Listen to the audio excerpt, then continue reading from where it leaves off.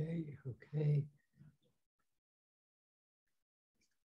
You probably think I'm on mute right now, but I'm not. It sort of seems like I'm on mute right now, doesn't it? But I'm just kidding. That's not funny at all, but I'm doing it anyway. Okay. Um, sorry, I don't know what what just came over me. Hold on, I'm just letting more people in. I just realized at the beginning I'm always so no, you didn't. I'm just being weird. You didn't miss anything. Okay. Um, wait. Oh, oh thank you. Okay. Wait. Um, Okay, yes. Hello, hello. All right. Good afternoon, Mark. Good afternoon, Alyssa. Hello, Charlie. Good afternoon, Vivian. Hi, and good afternoon, Lakshmi. Uh, Lakshmi. Good afternoon, Gabriella. Good afternoon, Jayla. Hi, Michaela. Um, thank you, Gabriella. I'm actually sure if Gabriella is saying I'm not on mute or I'm not being weird, but at least one of those statements is true. Uh, good afternoon, Stephanie. Oh, wait, more people coming, but good afternoon, Stephanie. Sorry, more people coming. Wait, let me say that again. Good afternoon, Steph. Uh, hold on, Okay. Okay, and wait. Sorry, sorry. Things happening. Okay, back to good afternoon. No, good afternoon. That was good afternoon, Stephanie. I'm not getting, no, I'm not getting, oh my God, gaslight is such a scary. Okay, Gabrielle, I am, yes, I, right. Uh, Jayla, you missed nothing. I'm just being weird. That's how that whole thing started. Okay. Or I'm just gaslighting. Oh my God. Um, speaking of gaslight, happy say happy daylight saving time, everybody. Um, and yes, we've now started it, not ended it. And yes, it's a singular, not a plural. And no, daylight saving time did not start during an agrarian economy. It's not about farms. It was proposed during farms, but it was started during World War One, during the Industrial Revolution. Thank you very much. Okay, good afternoon, Jay Lynn. Hello, Wee She, and good afternoon, Wee She, and good afternoon, Andrew. And get yes, I'm getting Mark. You don't want to know what happens if I actually get it all out. We'd be yeah. Well, we couldn't afford the therapy. Um, oh wait. Uh, oh, well, uh, uh, and uh, a slightly serious note to at least one direct chat person. No, no, I'm about to acknowledge that. If you, if, even if if you handed in homework two at all, which we're going to get to um, shortly or momentarily, if you've handed it in, you are awesome, and I'm going to praise you directly, and I thank you. And even if it was like 15 minutes after midnight or like whatever, or two minutes after this class, even if Google Classroom says you were late, it is no. If it's in now, you're awesome. Don't worry about Google Classroom saying that.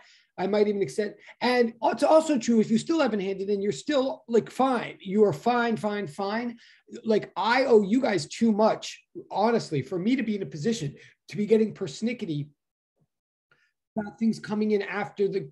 Let me be more clear about that. Hold on, more people. That's a very good question I just got in the direct chat, and I'm not going to say who it is, but I am going to address the question, except that, wait, someone else is coming in. Sorry, hold on. But no, that's like a very legitimate, especially at this point in the semester. It's good to have a good check in on that. But wait, I thought someone just came in, maybe not. Oh, yes, yes, yes. Hold on, hold on. Okay, actually, what I'm going to do, because I'm already getting myself confused, and because I'm going to need Mark to find Mark, get it all out. Yeah, around. There's something about that that's very priceless. Um, um, I really want to address this question about like lateness or homework and this and that, especially because I'm late with you guys. So I think, and we're now finally like kind of into a rhythm of the semester. I think it's worth addressing. So I'm going to explicitly address that in a moment. Also, I want to start explicitly addressing the substance of homework number two in a moment. But first of all, if you handed in homework number two at 12:15, you are definitely not late. Uh, that is definitely, and uh, yes, Google Classroom will say you're late because it was technically due well, actually, that's weird. If it, but don't worry about that. But I'll be more specific about that in a minute. Oh, Rachel's. Wait, is that true? Wait, is it? I don't have even said hello to the video people yet. But okay, oh, she's behind. Oh, weird. Okay, okay. Thank you. So we got Rachel and Celine. Cool. And I, doing. I now I like to say hello to the video people too. So I'll do that in a minute. But cool. Thank you for telling me. And and good afternoon, private chat person. Thank you. And cool. Oh, and thank you for saying thanks, direct chat. God, this feels like the worst. if there was like an award given to the podcast that is both the least educational and least entertaining, it would be this one. And it's not a podcast. Um, but yes, but person who's asked the question about the late homework in the direct chat, thank you for the thanks. And even though it's direct chat, just as a reminder, oh, thank you. Oh, thank you. My wife, ladies and gentlemen. Wow. Thank you. Um, Um, thank you for the thanks. And please know everybody that even though that was direct chat, someone asked me a question direct chat. Apparently, I sort of answered it, maybe over answered. Then they said thanks. Please remember that is counts, does count as closing a conversational path. Like that person in direct chat, he or she or um, whatever um, should submit like reminder of that to closing a conversational path. She or he definitely gets points for like acknowledging to me that I acknowledged her or him. Um, um, also, I want to acknowledge my wife who just brought me bacon. Um, and yeah, you might think I'm Jewish, and I am, but like bacon, come on. Okay. Um, uh, uh, uh, God, I also want to acknowledge that it's Pi Day, but okay, whatever. Um, so I'm still saying hello here in crazy land. So, but thanks for the thanks. Okay, also different direct. Oh yeah, yeah, yeah. And also, okay, I'm just going in order here. Like we're going to address the homework and we're going to address the, in more ways than one, like object level and meta level. But with the, particularly this homework too, that just came in or was due, this math methods, like, like I think I even, I think I even explicitly said, but maybe I didn't, that the last bit of this math methods homework was about vectors, which we need, but we don't need right now. We need later. So first of all, if you tried and did everything in the math methods, but didn't get to the vector part, First of all, that's totally fine. You really like that's even if you're being a perfectionist and like want to get everything that I asked for in it exactly at the time that I asked for it, uh, you you you did even if you didn't do the last part about vectors. Intellectually, I will say that the part about vectors, I think for the most part, you could figure out and do just based on the definitions that were put in the sheet right there. Like it is I try to be self, I think they were self contained if you had wanted to try to like learn a new thing and figure it out from the sheet right there. But you would have to do that. Like you'd have to understand it from the sheet right there. If you didn't do the vector thing, it's totally fine. That is number one. That's to everybody. Number two, we're still in a zone here where the point of the homework is to give you something to think about and struggle with before you come to class. The point of the homework is to make class worth your time.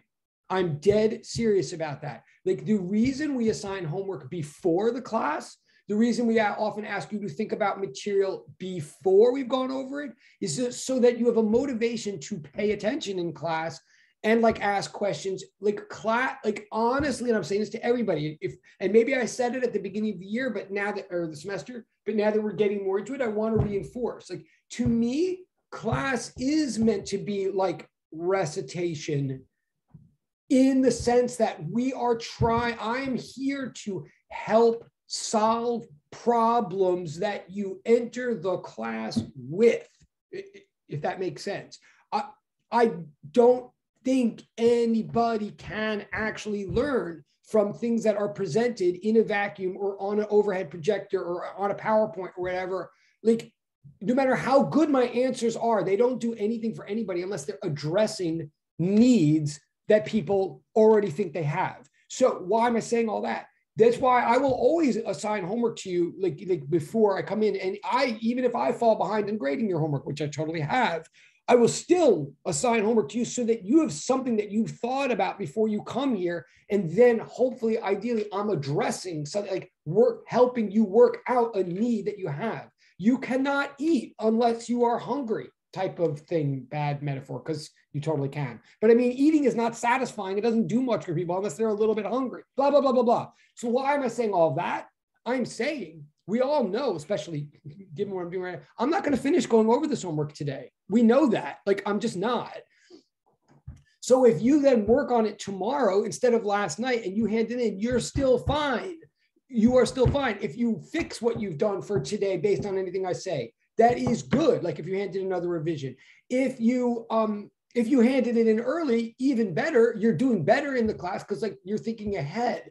But uh, and I want to acknowledge in a moment the people that have already turned it in, like, yes, uh, like they're on an express train to heaven, like, yeah, or whatever, physics, you know, to, to the Elysian and electrostatic fields of physics. But that doesn't mean that the people that have not handed in the homework yet are going to hell. Honestly, do I, I hope everybody gets that. So, like, I'm going to acknowledge in a moment the people that have heard the homework, so, so they can feel like they didn't just like waste their time or whatever. But the homework can still come in for sure. And I will not punish you for lateness. I will not explicitly punish you for lateness unless or until I like literally make an announcement to that effect. That is to everybody. I will reward those of you who I will not punish those of you who are late. And I'm talking about the real homeworks here. I'm talking about the problem solving homework. Again, I acknowledge I'm not, I haven't even returned yours to you. So how could I be like that strict about it? Now, with the game assignments, yeah, I know it's weird. I'm not saying they're more important, but with the game assignments, they're, they're so quick and they're so quick and they're supposed to be about like what just happened today type of thing that there yes if you as long as you turn it in on say anything including like i said hello you get five points if you turn the game assignment into day late you get four points instead of five. It's a minor thing. It's just to keep us. I know that's like almost like a weird standard, but it's the case. With the math problem, I want you guys to be working on it, thinking about it, improving it, drafting it.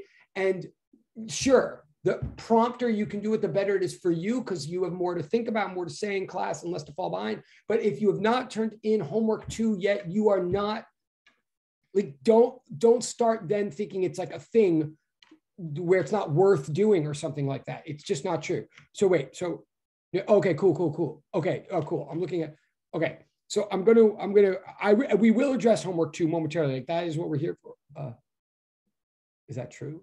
Yes, we will momentarily. Let me just finish going through the chat. Sorry, I'm like, again, this is all like the I'm letting it all out thing. Okay, Professor Rachel. Oh, I thought it said Professor Rachel's with me, but it says Professor Rachel is with me. Got it now. Okay. So hello, hello. Okay, thanks. I'm, I'm just going back to the chat. Oh, funny about the chess. Oh my God. I, okay, I don't want to get myself all distracted, but uh, I don't know why that. It's funny. I don't know. Yeah, that, that's so funny. Okay, sorry. The chess notifications. It's funny that you noticed that. I, I still don't quite. There's something inconsistent about the way the notifications work on my pad. No, I that game that you guys saw me playing as Walters, he totally demolished me. He totally demolished me. Now we're in a game now, and then there was another game where I almost had him, and then he won again. We're in the middle of a game now. I can't believe I'm talking about this. We're in the middle of a game now where I totally, I totally came closer to ever to having him, and then I made what I thought was a really stupid error, but it was still okay. But then I just this morning made a total blunder, and we're still in it. But now he, he's like cackling somewhere. I can't even go back and look at it because I made such a blunder this morning that he's going to win again. And it's so mortifying. But anyway, thank you for your concern. Okay. But see, I'm still standing. I will still proceed and keep playing him because I don't let my ego get in the way of my progress. Um, okay, okay. Uh, block. Yeah, thank you. Okay, wait. Oh, so that is all the chat. Okay, so last thing, block him. Um, I'll try. Um, uh, so now I'm also just going to say quickly because of my new habit. Uh, uh, I said hello to everybody in the chat. I'm also going to say hello to Gabriella, hello to Wishi, hello to Andrew, hello to Jalen, hello to Mark, hello to Vivian, hello to Stephanie, hello to Catherine. Uh, oh, hello to Jayla. Sorry. Oh, hello to Michaela. Sorry. I'm saying everybody, hello to everybody that's not a black box. Again, not to punish the people that are black boxes. I'm not calling them out, but I'm just saying appreciation to, again, Catherine with a um, Y, Jayla with a J, Vivian with a V, Stephanie with a Stephanie, Mark, um, Michaela, Jalen, Andrew, Wishi, and Gabriella. Thank you for being for for transcending the black box. Okay, now we're gonna we're gonna get we're gonna get to stuff. Oh yes, and happy Pi Day to everybody. I hope. I mean, come on. Oh, and this yes, happy Pi Day, as in three one four. Or or or um but if you think that's like really silly that math and physics teachers like think like three, you know, March 14th, like if you've never thought about this before, it's March 14th. So that's known as Pi Day, even though it's like really stupid. But for the record, it's not as stupid as it sounds. Okay, yes, it is as stupid as it sounds, but it's not stupid to recognize Pi one day of the year. Come on, Pi. Um, I think there should also be an E Day, frankly. I mean, like, you know, for my money, E is a pretty awesome, deserving number as well. Two quick things about, or three quick things about Pi Day. Um, one, it's also Albert Einstein's birthday. I mean, you know, I don't know what to tell you. I mean, it's Albert Einstein's birthday. Like, come on. Also, as you many of you maybe know, Galileo like died in March of 1642, and then on Christmas of 1642, Newton was born. I mean, are, are, these coincidences? I don't know. Is it odd or is it God? I don't know. Um, but I also know that my physics mentor, so here comes a shout out, even though he never listens anymore, but my, my physics mentor, like the first person that I taught physics with that taught me how to teach physics, and this is like in 1992. Um, uh, uh, shout out to him. His name is Tony Asdurian. He taught us, taught me everything I know about how to teach physics. Um, he and his wife Susan Asdurian, who taught me everything I know about art, which is a lot less, but um, certainly taught me how to appreciate art, which I didn't until I met her. Um, they had a child um, named Eli Elijah Orleans Asdurian. They had a child a long time ago. He that child is now like twenty or so, but that child was born in Albert Einstein Medical Center in Sao Paulo, Brazil, on March 14th, approximately 20 years ago. So, I mean, you know, I mean, is that odd or is that, I don't know. Is that cork or is that fork? I don't know. But um, happy birthday to Elijah Asdurian, who used to religiously listen to these YouTubes for no good reason whatsoever. Um, um, so I want to make sure to, okay, anyway, but it's Pi Day. So it's Pi Day. Um, also notice that theta looks like the, the, the, the um, character that we use for angle measurement is literally a line drawn across a circle. Is that a coincidence? That is definitely not a coincidence.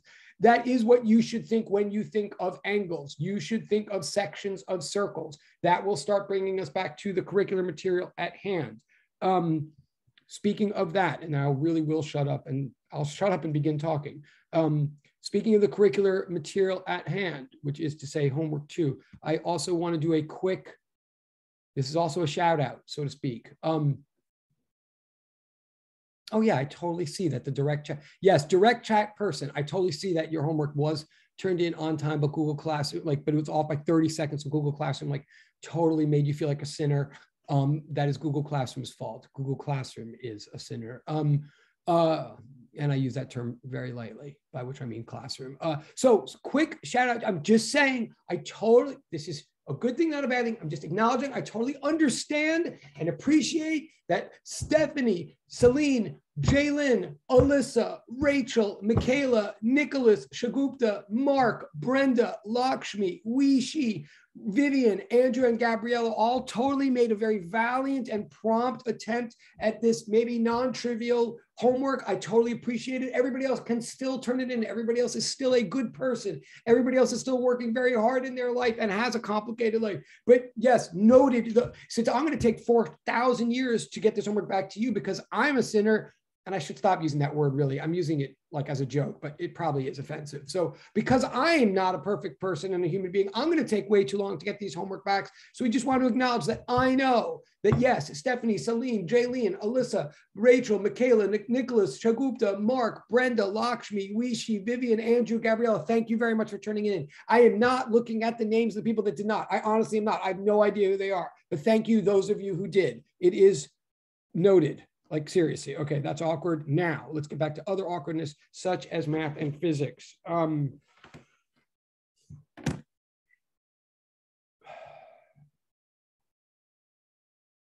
yes, I'm going to get back to other math and physics. I'm going to now also break a slight problem. Before I literally get, we are up to homework two. We are going to start going over it. I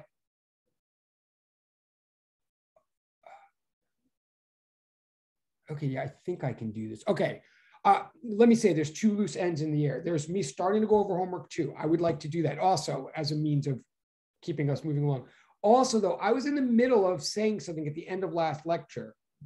I was in the middle of discussing phi, the phase constant, and what would happen if we had a bunch, a collection of phase staggered oscillators I just want to acknowledge that I was sort of in the middle of saying we sort of got to a sub punchline, but not really a full punchline. So I want to acknowledge that um, that point is as yet unfinished, and it will be a helpful point for you back in the lab tomorrow. So I would like to get back to that too. I think I can do it after I think I can start by looking at the homework though. Let me actually look this for one second. Yeah, okay, I can. So for those of you who are like linear thinker, I will get back to the point that I was making at the end of Wednesday. I will get back to that in a few minutes. Let me start going over homework two first, though. And I know I'm babbling, although you can stop me at any time.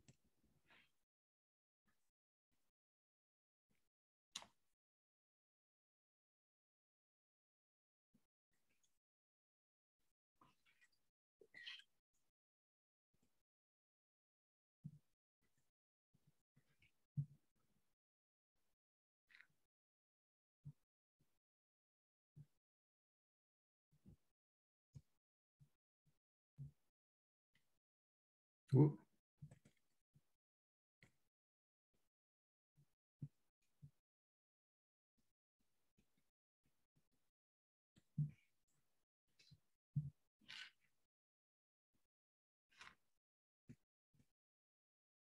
someone's here, pardon me for, whoa, don't know why that just happened, sorry. Hang on, whoa, what is going on? Hold on, sorry. Wait, wait, wait, sorry, I don't know what's happening, someone's.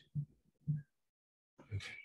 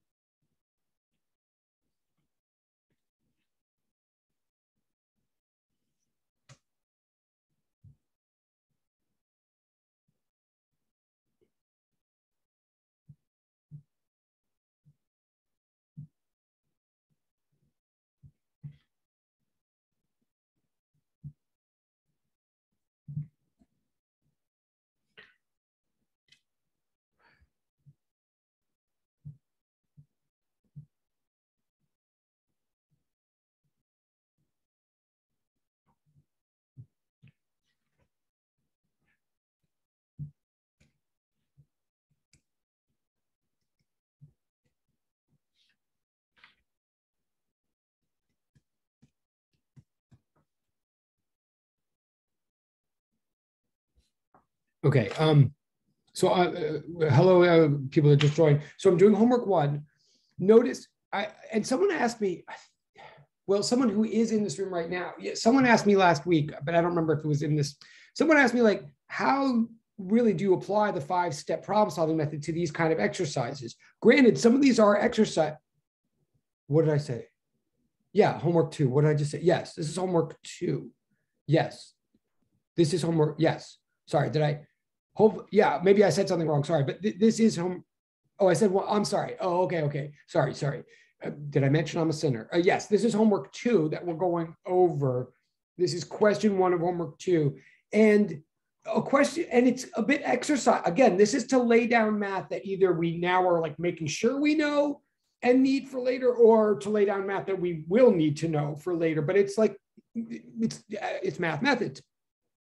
It's a bit exercisey and it's a bit mathematical, not physical. So, but I still want us to try as hard as we can to practice the five step problem solving method, which can even mean in a case like this, like if we're tracking the five step, I mean, because someone, it was a very fair question that someone raised last time, and I'm not sure if they raised it publicly or privately, but someone asked, like, how do we do the five step method? Like, yeah, good question. But um, notice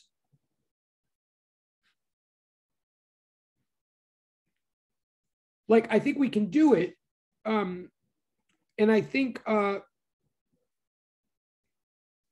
I think even if that means inserting a diagram that is not explicitly presented in the question, like all the more reason to present a diagram, honestly. Now, again, I, I'm I'm just answering the question. I'm just trying to be as thorough as possible whenever I start a new homework. Like I'm saying I can make a diagram here for this, and I think it would be useful for me. I mean, is it literally necessary, vital to get an answer for this? Maybe not for some of you. And am I literally using the diagram in order to do the thing that I'm about to do, which is take a derivative? Maybe, maybe not, depending on where I am. But remember, if nothing else, this is physics class, not math class, which me, although it may not feel that way all the time, but that means we are trying to use the language of mathematics to navigate the physical world of space and time. that means we are visual. Like we care about how things are laid out in space and time. So, whenever we can lay things out in space of the piece of paper, let's try. So, I've got a cosine function here. I want to remind myself what a cosine function looks like. In fact, let me add one other fact to that. Like, if I have x equals a cosine omega t, like that means it's a cosine shape, but it means I've got a couple of details there. Like a is right there on the graph. A is is x naught, so to speak, right? It's the value of x when t equals zero. So that cosine graph is starting at x equals a, as opposed to being a sine graph or something. Oh, like I gotta leave and come back.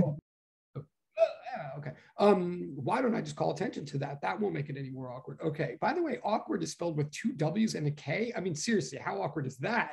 But and speaking of W, that's an omega in the cosine expression. And where's that on the graph?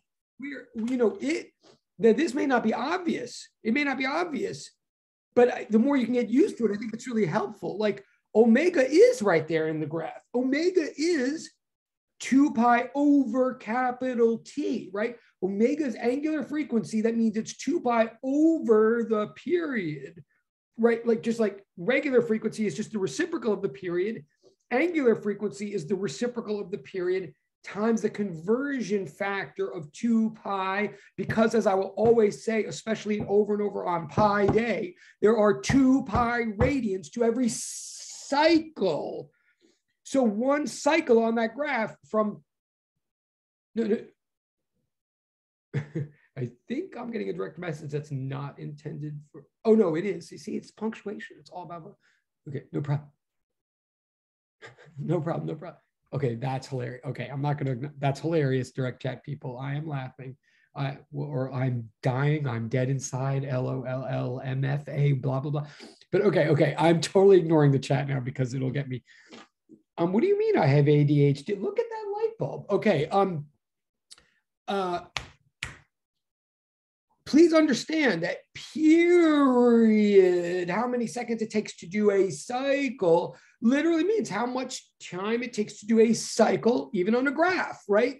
And so from one crest to the next is a full cycle. It's a full period. It's a full capital T as measured in the units of the independent variable, which here is lowercase t. So from one cycle to the next is 2 pi over that omega. I'm just saying right? So that graph, I don't know. It kind of helps me see what's going on. But anyway, then the, the question of the exercise.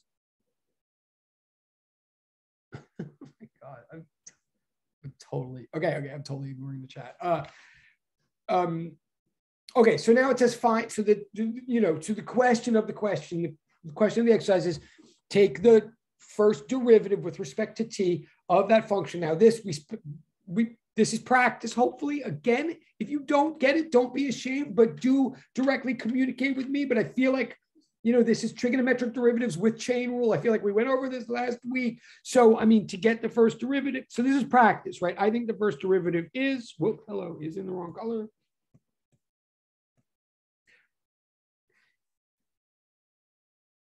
I'll even say this.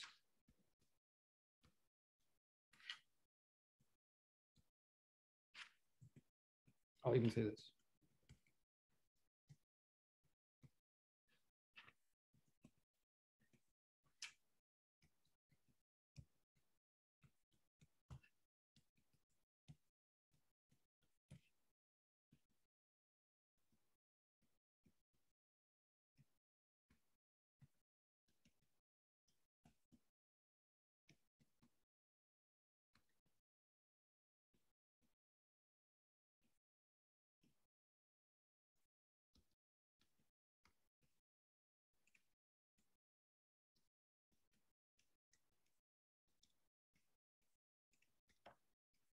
Okay, I'm slightly dragging this out. I'm hopefully I'm writing something down that is clear to people. I'm a little bit dragging it out, which I ask you to do at least at the beginning of the homework. I'm not going to drag every one of these exercises out. I know many of you people can do it in your head at this point, which is great, or I know that you have it in your notes, which is great. I'm going to drag it out here, like really explain myself, partly for those of you who are still getting it, partly as a training model for what I do want in the homework or in exams. Like I would like you to explain your reasoning here.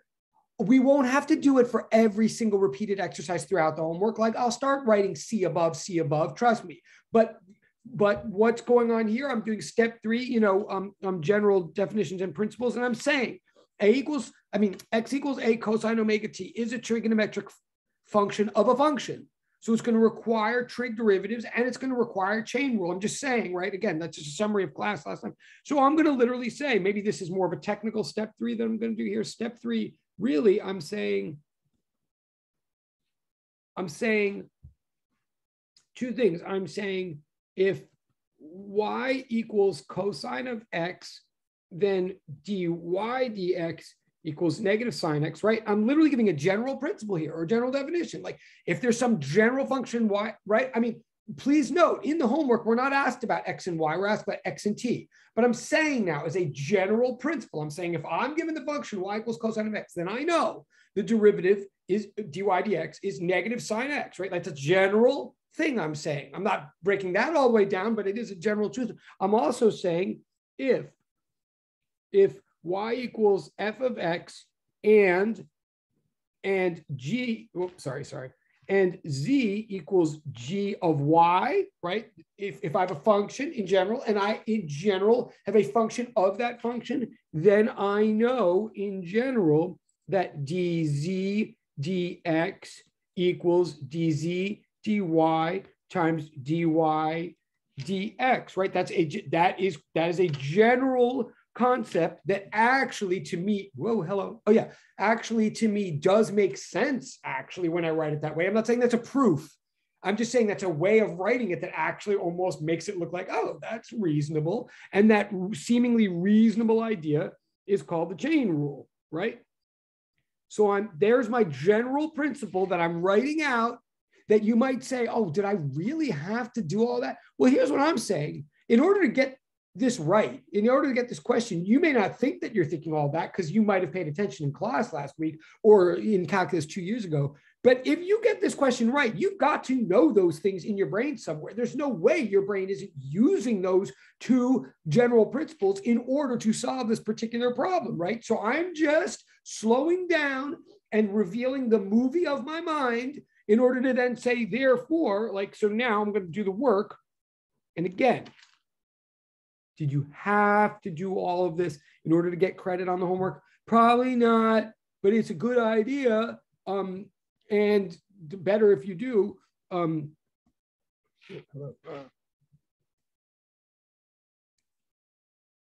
so now I do, now I apply this to the particular problem and I say thus,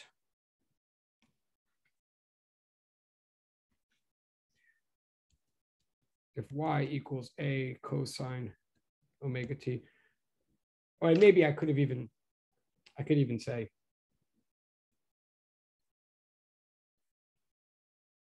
I don't know if you like this better, but you know, if there's an A in there, it just stays there.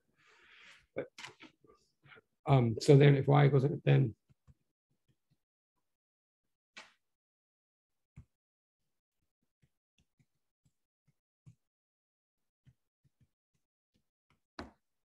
right? So that, um, and then that's the answer to exercise one. I, again, I will not drag out every single one this much, but one other thing. So that's my answer to question one. I also want to say uh, two things before I forget. I'm saying over and over again, don't over stress the deadlines of your of this kind of homework. Like if you're getting something out of this right now and it helps you go back and, and actually start the homework, like you had a block when you looked at it, now you don't, great. Like all the power to you. But every like deadlines are loose when it comes to this kind of homework. It's just a matter of just don't fall behind me. But that's not true on exams, just to be clear. With exams, you have we so I don't we're doing all this so that we can practice for exams. But the one thing is by the time we get to exam, yet then it does have to be on time. I just want to make that clear. Um, but okay, that's that answer. There was something else I was just going to say about it. dy d uh, negative a omega sine omega t. There was something else I wanted to say about this, but All right, but that's the derivative. I feel like there was something, but okay, that's the answer to that question. Then going on to the next question. Right. Okay. So then going on to the next question. Uh, sorry, I can go back if you want. Please tell me if I just move the page too fast. But then the next question is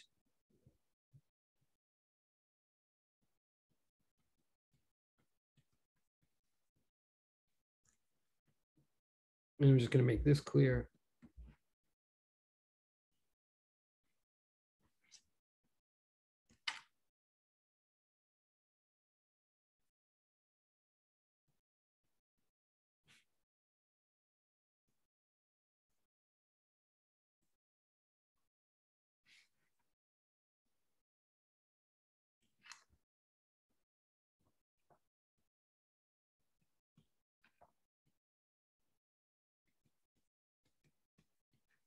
Now, and again, as I warned you, I'm not going to drag every single one of these questions out. I'm going to start moving a little faster just to give you answers or check your answers or whatever.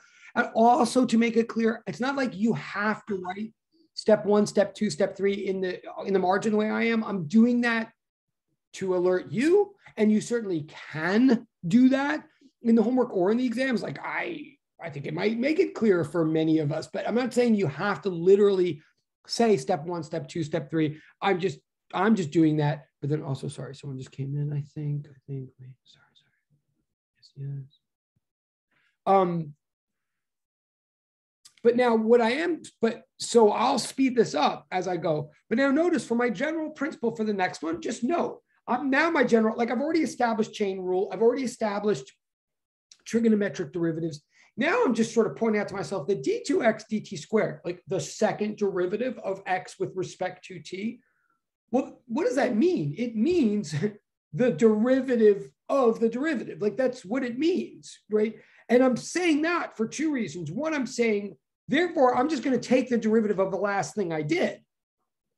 So I'm not going to have to re explain everything. But number two, look at the notation.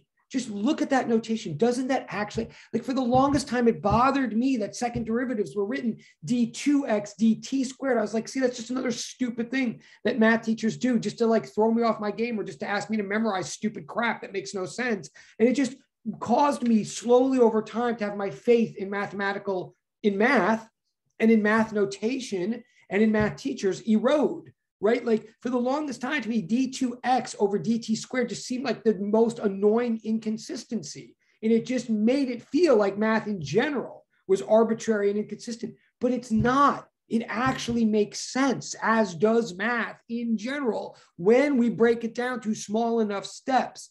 The second derivative of x with respect to t is just that. It is the derivative with respect to time of the derivative of x with respect to time. It's an operation being performed on an operation. It's not, if we wrote it as dx squared over dt squared, which is what I wanted when I first saw this, that would actually be bad because it makes it look like dx dt is being squared, and it's not. It's an operation on an operation. It's not multiplication. Just saying. Okay. So, but what does this mean to me right now? It means I got to take the derivative of the thing that I had before.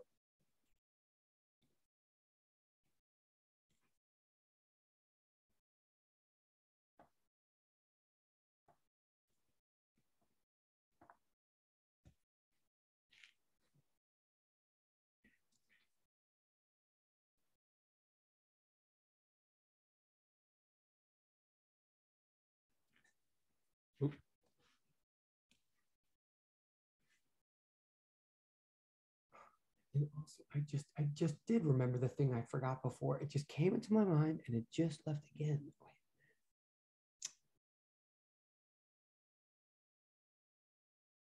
Oh, I, yes, I do remember now.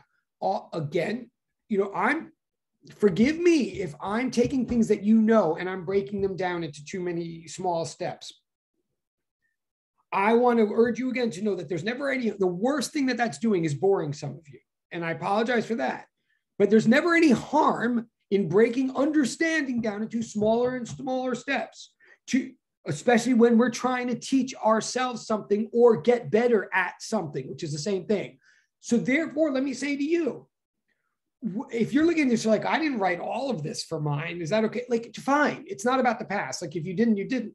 But in the future, if you're ever looking at something, especially on an exam, and you have that momentary question of, huh, how many steps does he really want? Like, should I should I actually write out chain rule? Should I actually write out, oh, the second derivative is the blah blah blah? Here's the answer. I mean, all of it's a judgment call. All of it is the art of the science. But if you ever ask yourself, huh, should I actually include this even smaller step?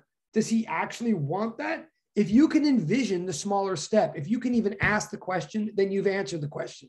The answer is yes. Like, honestly, there's never any harm. There is only good in breaking down our understanding into smaller and smaller steps. So, if you can even envision the step that you're stopping and asking yourself, should I actually bother to write this? The answer is yes. And you don't have to write it a million times. From then on, you can refer to it. But we are here to break it down. We are not here to cover material. We are here to uncover material. You know what I'm saying? Uncover, discover. You know what I'm saying? Okay. And since I'm saying in that voice, it must be important. Okay. So, so the answer to this one uh, er, uh, is this.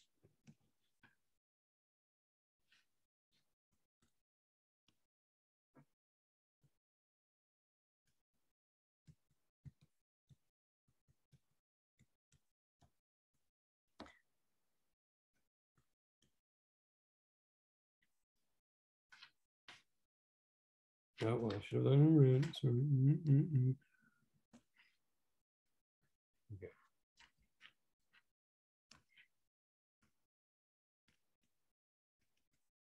Okay, so that's the answer.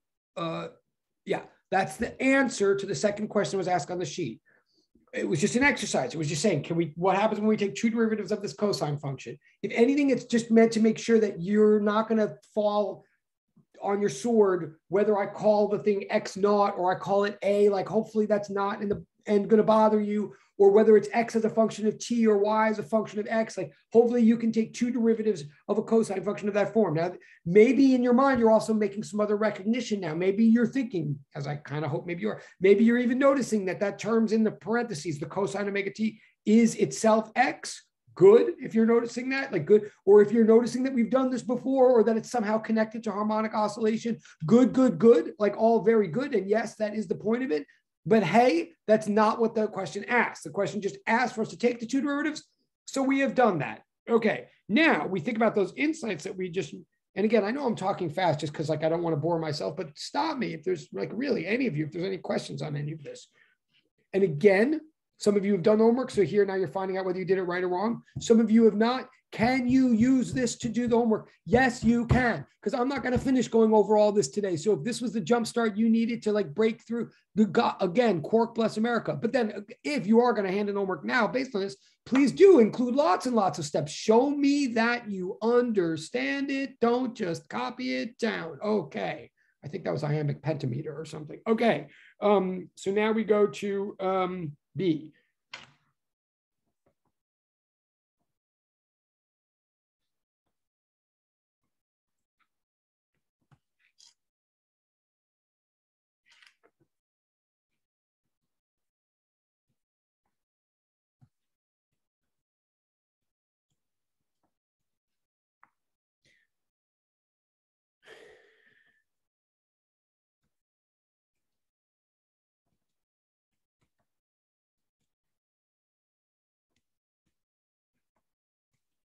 Okay, so I'm going to start speeding up now. I'm not going to write the steps next to it anymore. Um, but this question here is, and of course it's based on A, is X equals A cosine omega T a solution to blah, blah, blah, blah, blah. So the answer is yes.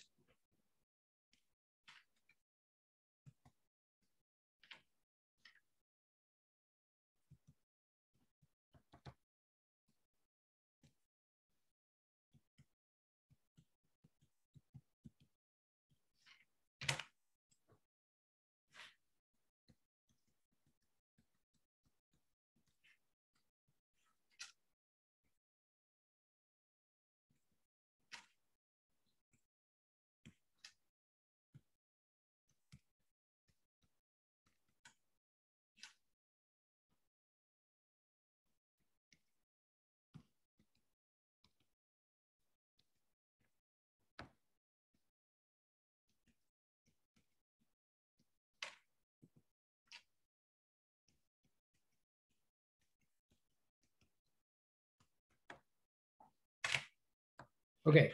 Again, technically, we're just we're this is just practicing or reviewing like something we said um last time, last week. Sorry.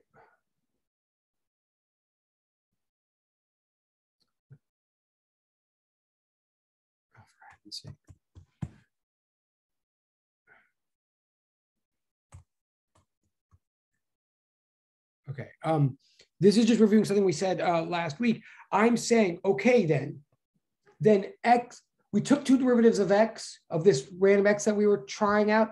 And it turns out that by taking two time derivatives of it, we got back itself times a constant here in known as omega squared times a negative sign. Therefore, it is a solution to some differential equation stating that very fact, right? Like we, so we went, you could argue we went forwards last week and we're going backwards now, or you could argue the other way around. But here, what we found is that the a cosine omega t is a kind of function such that when you differentiate it twice with respect to time, you get back itself times omega squared times a negative. And so the answer is yes. What's the big significance of omega squared in just this abstracted mathematical exercise? There's no significance really to omega squared. It's just that it is a constant. But so yes, we this just show that just verifies that a cosine omega t is a solution to, does solve, does satisfy the differential equation of the form d2x dt squared equals negative omega squared x. By the way, between you and me, you, the class, and me, as physicist, in the back of my mind, I'm thinking that's exciting because as a physicist, I know that the differential equation d2x dt squared equals negative omega squared x is the differential equation that describes all simple harmonic oscillators. So as a physicist, what I'm thinking that I just showed mathematically is, oh, an equation of motion that describes harmonic oscillators is x equals a cosine omega t. Like that's the physical discovery we just made. But the, the pure math doesn't know or care anything about that. It's just saying, aha, here's the cosine function satisfies or solves or is a solution to the differential equation of this particular mathematical form. Like, okay, so that's what the math says. We care as physicists because that differential equation means harmonic oscillation. Um, okay, so that was B. Again, please, I'm sort of, you know, doing the usual thing. I'm like saying very little, but I'm saying it very fast. So stop me or speed me up as you wish. Um, but I'm moving on now. But otherwise, I'm moving on now to the next question, which is okay. C.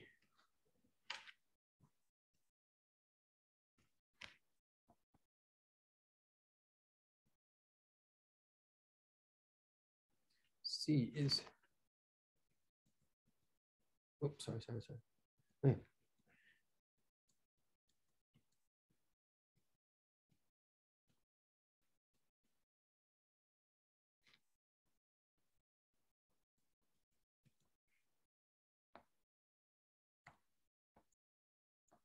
Okay, so now we're getting a little more specific. This is actually not the worst question in the world here.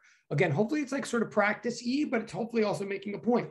Question C is kind of saying like, okay, we're getting used to the idea that if you have this sort of diff, this second order differential equation that looks like that, like if you have d2 blah, over dt squared equals negative blah, times blah, if you follow, like, so I'm saying if you have the second time derivative of some function equals negative sign times a constant times that function, then A, we're calling that a simple harmonic oscillator. And B, we're saying it seems like cosine functions are the type of functions that satisfy that differential equation. We're saying that cosine functions seem to describe harmonic oscillators. Like that's what we're saying here in general big terms. And that's a very big thing to say. But now we're saying in question C, like, do the details matter? Like, what about these details? Like the detail of omega, like, or the detail of the constant in the differential equation. Like, like how in what way does the actual specific value of the constant matter so the answer is it totally matters like to cut to the chase um, and again i'm now just writing answers i'm not necessarily writing everything that you should write to explain things but i'm writing i'm going to say no well, hello. I am going to say no but i'm going to say no x equals a cosine 5t does not satisfy or solve d2x dt squared equals negative 3x. Uh, I'm going to show you why in a second, but I'm going to, well, yeah, so, so why, why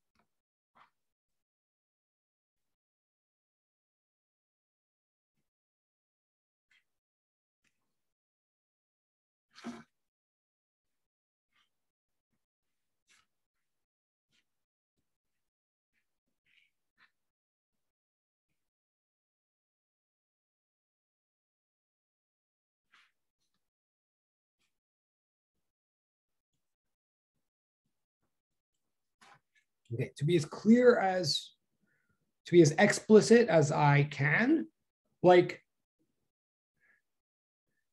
that particular cosine function does not satisfy that particular differential equation because 25 doesn't equal three, if you follow what I'm saying. Like, like that equation, x equals a cosine 5t, would satisfy the equation d2x dt squared equals negative 25x like in fact it, it's the case right? If i take two derivatives of that x i get negative times 25 times x like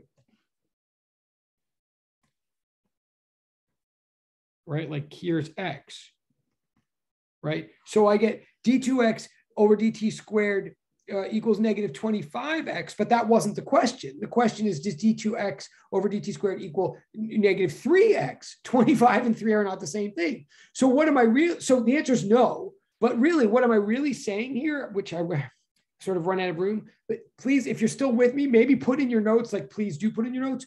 What really we're saying here is x equals a cosine 5t, like the x that they just gave us to try x equals a cosine 5t is a simple harmonic oscillator, but it's a different one.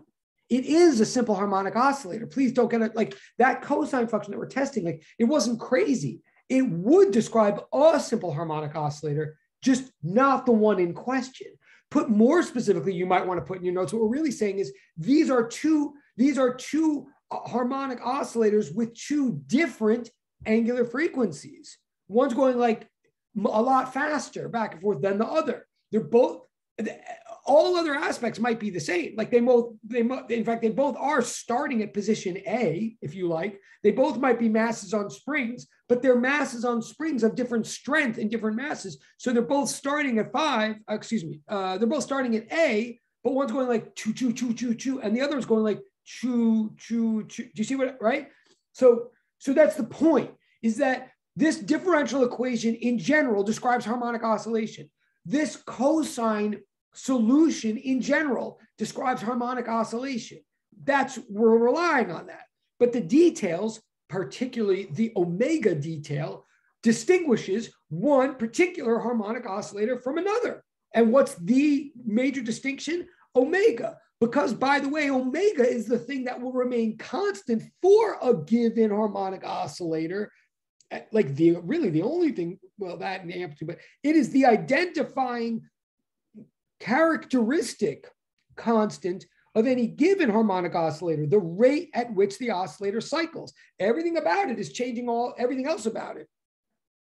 Where it is, how fast it's moving, how fast it's accelerating, how fast it's accelerating its acceleration, all those things are continuously changing all the time. But the rate at which it's cycling, that is the characteristic identifier of a given harmonic oscillator. This equation is, I mean, this question is asking us to ultimately think about two different oscillators. Okay, so, so that's the so the answer is no. Blah, blah, blah, 25 doesn't equal three, and if you can fit it somewhere, you know, something like these are two different.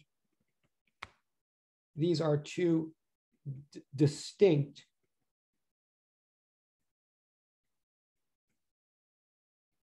Okay, I'm, I'm just okay. So that's question C. Again, stop me if, and we're almost up to where we were two days ago. What? Oh, sorry. Uh, okay, now I'm I'm really gonna I'm gonna try to do D and E. I'm just gonna like literally write the answers because I want I really want to get to F, which brings us back to the lab and where we were. But I think you're pretty clear on D and E. So, but okay, so D. So please stop me if you have questions. Other than that, I'm practically just gonna I think these are almost repeats. Almost.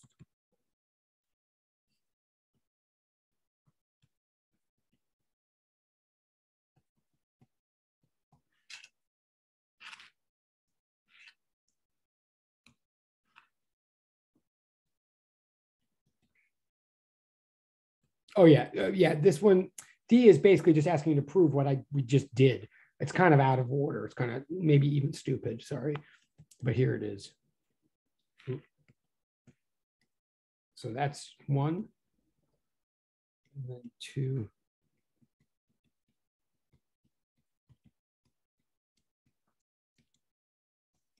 Okay, so really this question D is really kind of the justification for C, but this is all it's asking. So there, those are the answers to one and two of D.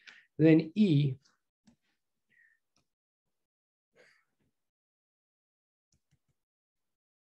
E, okay, now, now E is just trying to make this more physical. Okay, right? A through D was like the general mathematical pattern of what we're looking at. And it's just trying to reinforce omega squared is any kind of constant. It could be three, it could be five, blah, blah, blah. But now it's saying, okay, what if that constant came from specific parameters of a specific mass spring system? Right?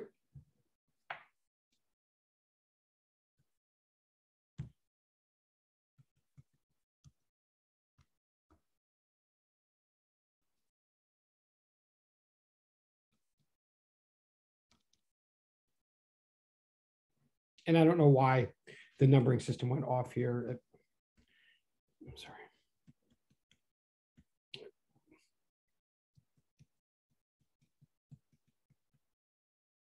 Well,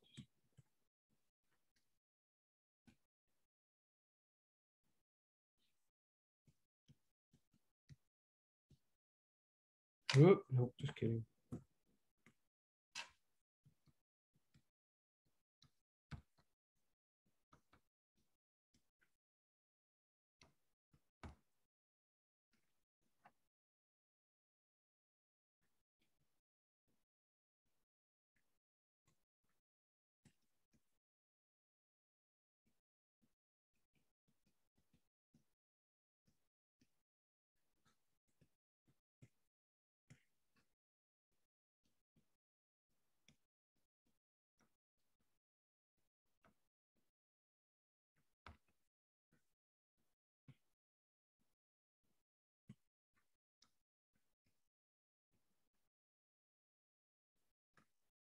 So we're just trying to show in four here, like that's the answer to four is d2x dt squared equals, and I, I did a little multiplication as commutative move here, but equals negative k over m times a cosine quantity square root of k over m times t. Just trying to show, just hopefully you're just seeing the pattern that see that's why that solves the original differential equation that we originally had for a mass on a spring, which was d2x dt squared equals negative k over mx, right? Like that's Hooke's law. This is just showing that this is the solution to Hooke's law. That it, I don't know what more to say about it, but that's the answer to four. Hopefully, you're just seeing how this is how these derivatives and these differential equations are fitting together to describe harmonic oscillation. Again, you totally can stop me. You should stop me if you want, but I'm going to, but barring that, I'm going to go on to F now, which will bring us to what, well, F and G, which will bring us to where we were last Wednesday.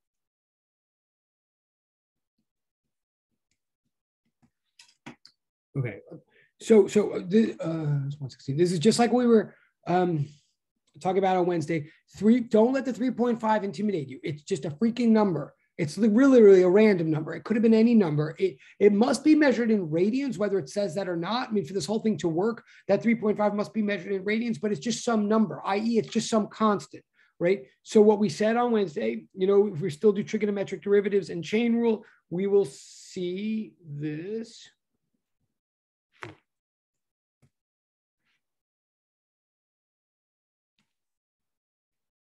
Oh, no, sorry. What am I saying? Oh my God. Sorry. Okay.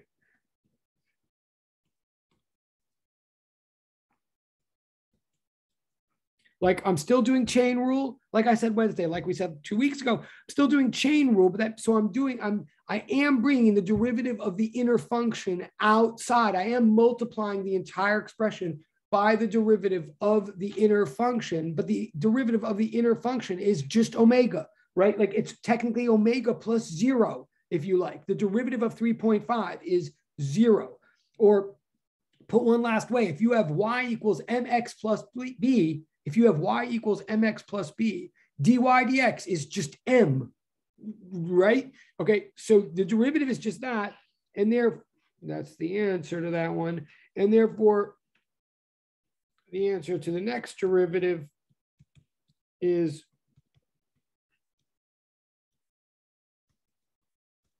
just this, right? That's the answer to the next one. So then going on and answering G, G is x equals a cosine omega t plus 3.5 a solution to dt, blah, blah, blah, like the answer is, oh, yes. And I'm not even writing the question now because I'm sort of running out of time and you're with me, you get it. The answer to G is yes.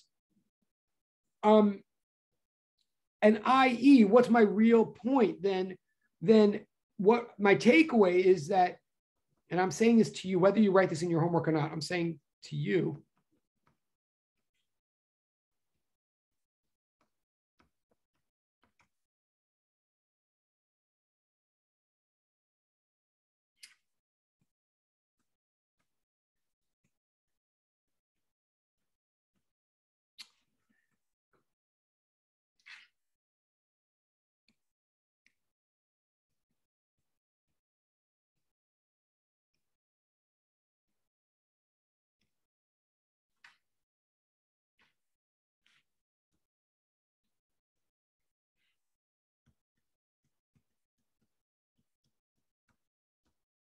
Okay, now I've got about 11 minutes. What here's what I, you probably can't read my handwriting.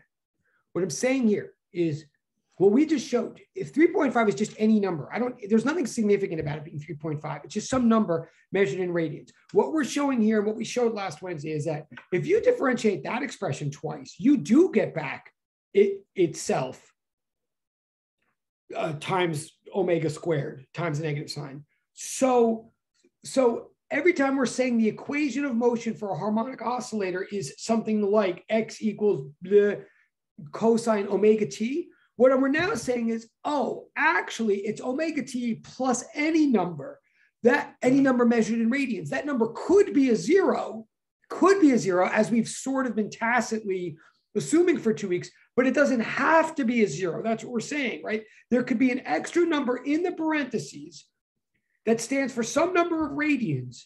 The number of radians could be zero, but it doesn't have to be. Whatever that number of rate, and we'd still be satisfying the math of simple harmonic oscillation. What we started saying Wednesday was, well, what about the physics of simple harmonic oscillation? I'm saying now you could stick any number in that parentheses, any number measured in radians, and from now we'll abbreviate it with a phi, a phi, like like looks like a theta on its side, right? Abbreviate it with a phi, and call that number the phase constant it is a constant. It would be a constant for that expression, but it would stand for, as we said for last Wednesday, that phi, whatever number is there in radians, would stand for a head start or delay, like depending if it's positive or negative, would be or negative or positive, really. Um, it would be a head start or a delay with respect to cycle. Like if that extra, if that extra number is zero, it means there's no head start or delay in the cycle. It means that we actually started measuring with our stopwatch, or the thing actually started we started paying attention to it right when it was at the amplitude position. If there's if that extra number is a zero, that means when t equals zero, x equals x naught. But if there's an extra bit put in there, like say pi over two radians, that means we actually started our stopwatch a quarter of a cycle into the motion or, or a quarter of a cycle behind. Why do I say a quarter of a cycle? Because there's two pi radians in every cycle. So if the phase constant were pi over two, right, to just two pi, that means a fourth of two pi. That would mean that the object actually started at the equilibrium position rather than starting at the amplitude position. Oh, oh okay. Uh, I'm looking at the direct time. Yeah, yeah, yeah. Exactly, exactly. It's that's beautiful. I just got in the direct chat, and the person in the direct chat should totally submit this for participation. Yes, the person in the direct chat just said like they've been thinking about this as translations to the cosine graph. I think that's awesome. It is totally a translation to the cosine graph. That's very good. That's very right. A starter delay. It's like where we're and if you if you translated enough, in fact, yeah, like if you translated it by pi over two, all of a sudden your cosine graph looks like a sine graph. That's absolutely right. Now, why would you ever do that? I mean, no, so great job, person in direct chat. Why would we ever do that? Like, why would we ever start our stopwatch when the thing's already at equilibrium position rather than at, well, if we just had one oscillator, there is not a good reason to do that, really. You could, but it would be pretty, we want convenience. If we only have one oscillator, it's pretty inconvenient to do that. We could, but it doesn't, it just makes our life more complicated. But the reason we might ever care about this phase constant thing, this is now to get to what we were saying uh, last uh, Wednesday. We have seven minutes. This idea of phase, where you are in the cycle, starting somewhere other than the beginning, becomes very relevant and useful and convenient if we have more than one oscillator particularly if we have multiple oscillators. So what we said, and now I'm going to pick up what we said at the end of last Wednesday. Imagine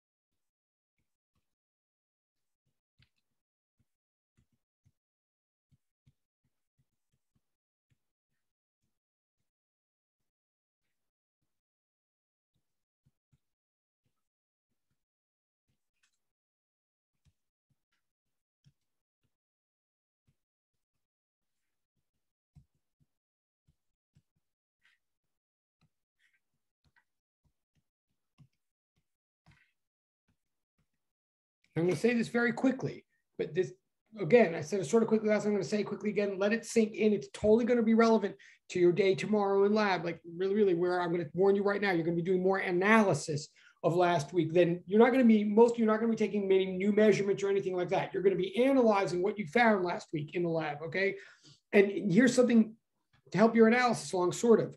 Um, and I recognize we have five minutes. Um, well, so what I just wrote there, and you can tell me to go back. I wrote well, phase constants become important when you have multiple oscillators.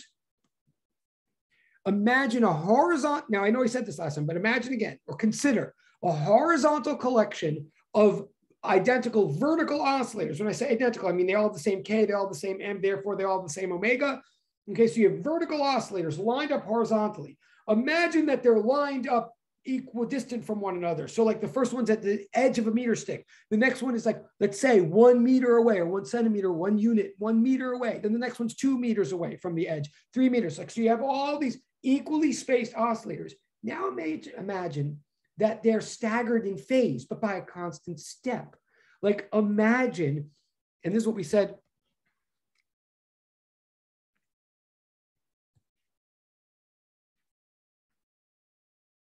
Like they're all identical. But imagine when, the very first one's all the way at the amplitude, the next one's like, say, at equilibrium. But the next one is, say, at amplitude on the other side. And then the next one, or whatever you want. But imagine that they're all staggered in phase, but by a constant step. So that, like, as an example, it could be so ex example could be like y of zero equals a cosine omega t plus zero, then y one equals a cosine omega t plus one pi over two, then y over two could equal a cosine omega t plus two pi over two, then y three, right? Uh, this is, now pi over two here is just an example. But imagine that for every next meter of horizontal positioning, we have another pi over two of phase, right? Now, pi over 2 is just the example. The example is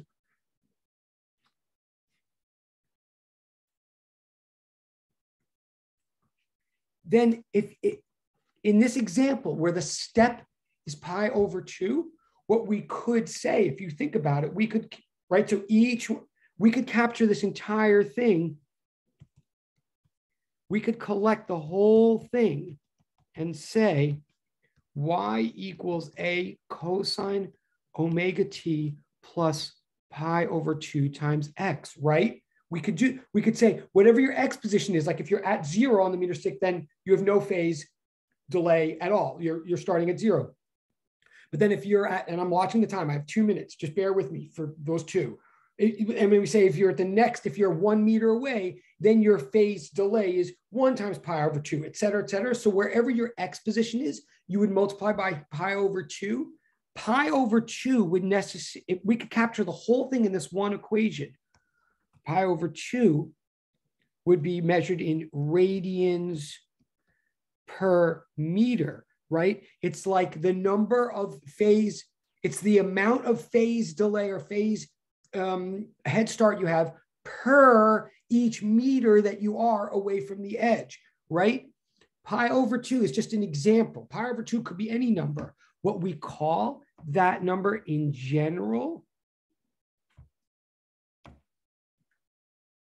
is K, not is K. Not the K of Hooke's law, but a different K. K is angular wave number, as in lab three, okay? And it's called angular wave number. And I'm just about done. It's measured in radians per, per meter, not radians per second, radians per meter. K is to space